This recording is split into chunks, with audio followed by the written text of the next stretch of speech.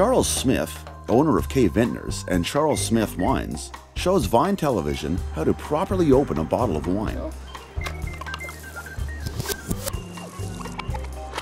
Correct. You're seeing properly. The bottle is upside down. See, look at this sediment. Wow. But now it's not in the wine. It's really big. I could open a bottle of wine with a sausage if I needed to. Try the upside down open technique, but not in your living room.